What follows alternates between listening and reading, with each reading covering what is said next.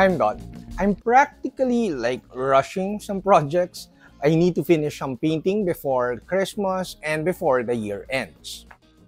Basically, I need to finish like four articles, a couple for a book, and two different magazines.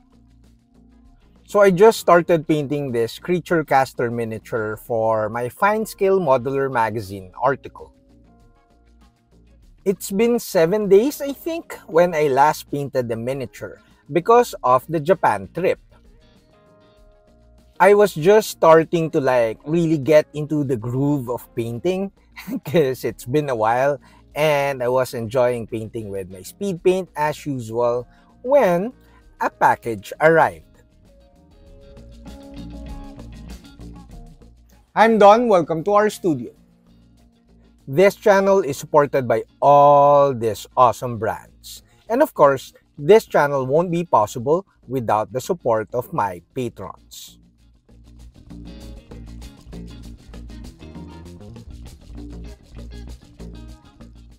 So before I had to do the unboxing, I had to make space. So who wants old Citadels, Vallejos, and of course, AK paints? Just kidding. The package is very, very heavy. It's super heavy and it's super beautiful. Like after opening the box, I was like, this packaging is super nice. It's not really my first time to get like a really big package of paints, but this is like the first package that is in one set. Like in one box, you have everything you need, all of the colors. I'm not really sure if you could hear it in my voice, but I'm really, really excited to use these paints. I have been waiting for these paints for a while now. To be honest, I did not know I'll be receiving this package this early, like before Christmas. This is super awesome, and I did not ask for the complete set, but Adam gave it to me. So super thank you to Army Painter and of course Adam.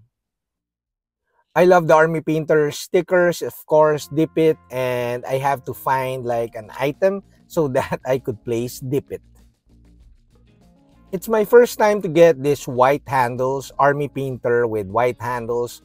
I think the triangular, the, the brushes with triangular handles are sable brushes. I'm not really sure, but as usual, I'm kind of excited to try them out.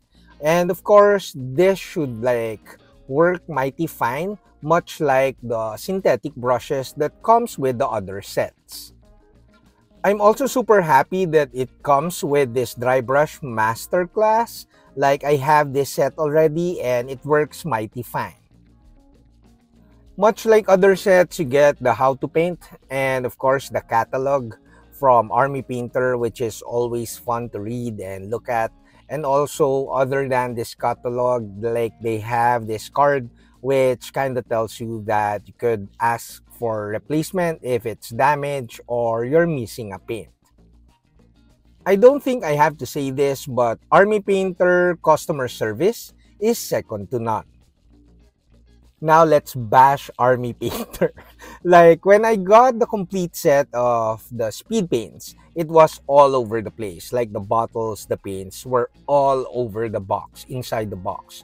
This one, it was like they're, they're organized in like four sections and the paints are steady or they're not really, they're not scattered inside the box. Basically, the cartons that held like the paints in four sets and are placed inside the box are fitting like they fit so nicely they're very tight and you'll receive your sets in very very good condition Now let's talk about the triad system. There are six colors within a single triad and it looks it looks pretty good. I saw the video at Army Painter about the flexible triad system, and I was actually kind of curious why it's a triad of six colors. For me, like triads kind of work best if it's an odd number because the middle color will be your base color. So having a triad system that has six colors or even number is kind of weird because you cannot like define your middle base color. But this makes this Warpaints Fanatic Triad more flexible. Basically, the most important parts of a triad, that's why it's called triad originally, is the darker, like the darkest color, and of course, the middle color, the base color, and the lightest color. That's why it's kind of like normal if you have them in odd numbers. Now, since Army Painter like hmm, designed it to be six color triad, I think that really made it more versatile or like more flexible as they say. Since this is a three, no, not three, a six color triad, practically you have hmm, like three color triads. Like you could organize it or use 1, 2, 3, 3, 4, and 5, or 4, 5, and 6. So it's very versatile. It's very flexible. Or you could use the whole triad of six colors, but you have two base color options. Now you can choose like the middle colors as your base colors. You could use number 3 as your base color, which is lighter, a little lighter, or you could use number 4 which is a little darker or a bit like the color is more solid. So you have two choices of base colors which again will make this triad system very flexible. Or you could simply use two base colors when painting a part of a miniature. For example, let me explain. You're painting a green skin you could use number 3 and number 4 in the same triad system and kind of combine them as you paint or even wet blend them as you paint the skin. So basically, you have more color depth instantly with just the base color. And then of course, the shade or darker colors you could glaze down or like paint via sketchy manner. And of course, the highlights. So this will produce very good results for sure and I will have a ton of videos experimenting with this triad system. Basically, I'm just judging based on the bottles that I'm using. I haven't used the paints yet. But the bottles feels different by the way. They feel like more, hmm, less soft than the speed paint bottles. But anyways, basically you have lots of colors. So do you really need these colors like a six triad system when you're painting miniatures? Well, basically you don't need all these colors. But trust me, you will want all these colors. Now, layering within the same triad system will be stupid, like stupid easy. Now, this is again much like speed paints, the complete set. This is a problem. Like, how could I make hard to follow tutorials so that people will like subscribe to my Patreon. like I said, you don't really need this much colors, but this will make your color depth, your painting, your layering, and even your glazing so much easier. As a professional painter, for me, having lots of colors, having all these colors will make my painting a lot more efficient. Now, the great thing about the triad system, this six color triad system for me, is that if you look at the video, the colors are not really near each other. Like, they are like very identifiable. Like, there's a certain jump between each color, which makes it like very good because there's not much redundancy in the color system. So I used to just paint with a certain brand way, way back and that brand has a ton of browns and ochres and tans to the point that the paints, the colors, seem to like, uh, some colors seem to be redundant and not really like, it's, hmm, how do you explain it? It's like some colors seem to be very similar to each other and it's not really efficient to use them, especially using them within the same miniature.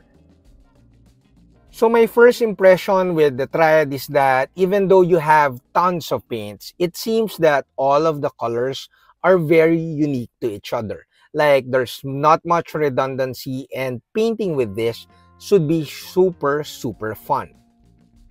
I must admit though that because of the very well planned or well designed triad, it's kind of like I, I feel kind of scared to like paint within or outside of the triad. Let me explain. For example, you're painting with cool reds like you see in the video. And then I want to introduce some purples at the like darker spectrum of the triad. It will be kind of like tricky at first because you're introducing a triad, a color from a different triad. But I'm pretty sure it will work out super fine. So I'm thinking my first few videos will be painting within the same triad system so that people will find it easier to follow. However, I'm pretty sure that my succeeding videos will be playing around with all these colors, like almost totally ignoring the preset triad system. I must say though that after unboxing all these colors, like Army Painter designed this triad system, all these colors really well. Much like how they designed the complete set of the Speed Paints 2.0 it seems that once you have the complete set of this Warpaints Fanatic and you have the complete set of the Speed Paints, it, it's like your life is complete. Seriously though, like the color selection, the vibrancy of the colors, and of course the triad system, kind of makes it like it, it feels that the Warpaints Fanatic is more than enough to accomplish really, really nice projects. Kudos to like Army Painter for constantly innovating their products and it should be super fun to paint with these colors.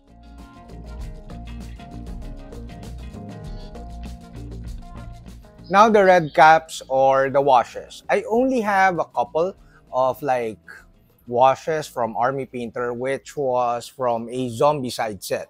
Now, I have the full set. Now, the bottles with red caps are the washes. I'm really excited to use this because I only have a couple of washes from Army Painter, which came from a Zombicide set. With this one, I have more than enough. I think this could be the complete set of washes too.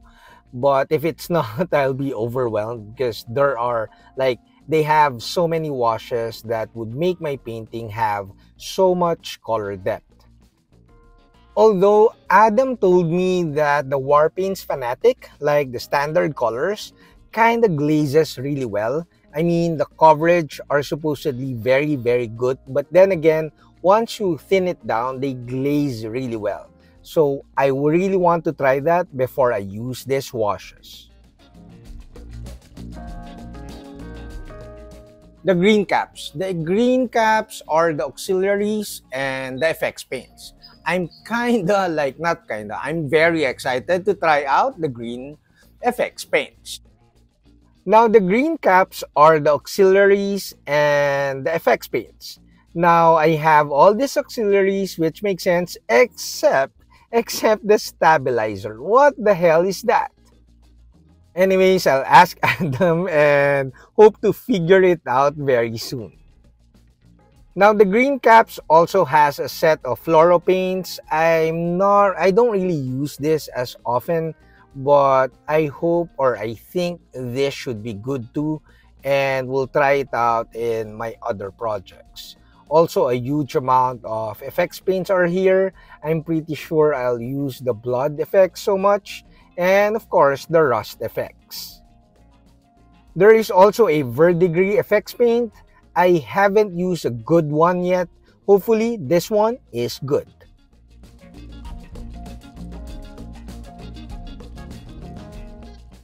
Now the metallics. The metallics, like the collection of metallics seems so nice. I'm, I'm really eager to try them out. The metallics. The metallics has a very good collection. I have an older like set of the metallics and they seem very nice and they say that this is even nicer.